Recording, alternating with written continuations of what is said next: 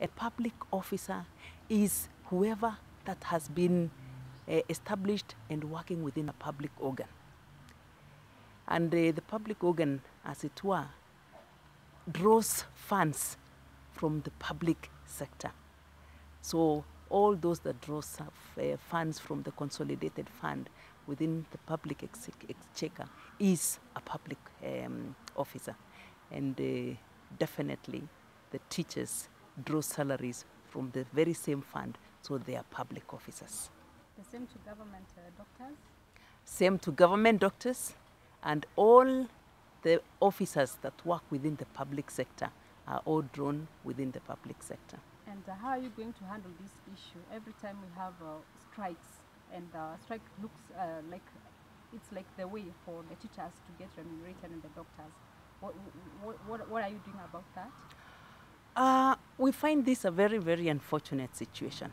Unfortunate indeed because we have established systems. The constitution and other legal frameworks within the country has established the way of negotiation.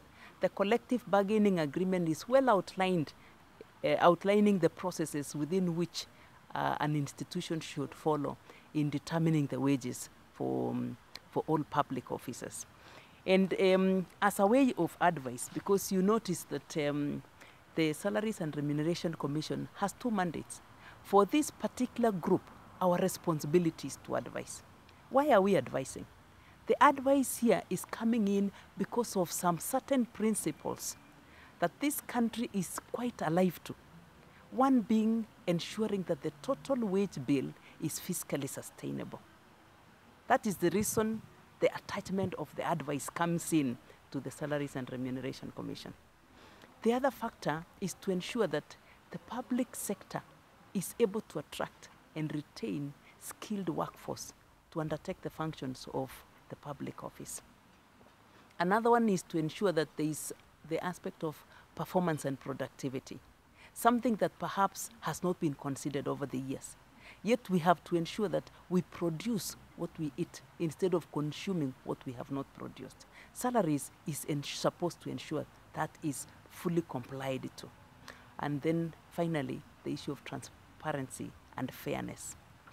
We bring in fairness and highlight it very, very seriously for reason that most of the determination of the salaries and remuneration within this country have not been based on any systems that ensures um, parity and equity.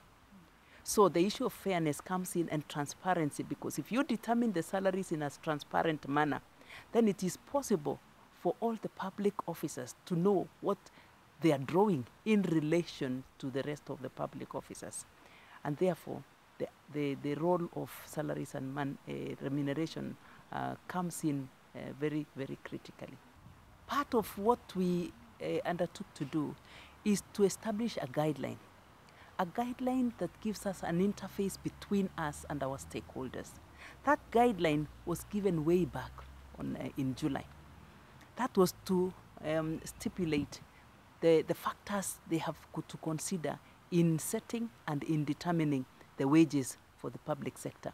That was also given to the Teacher Service Commission and even to all the unions. So they are aware, they are privy to the factors that ought to be considered, which as Salaries and uh, Remuneration Commission feel have not been complied to.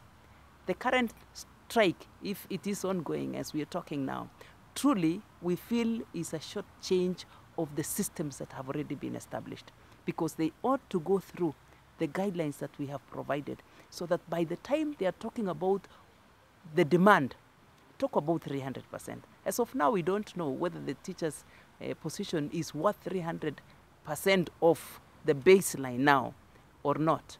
And we told them, follow this specific guideline so that at the end of it all, the demand you're giving will be based on certain objective criteria.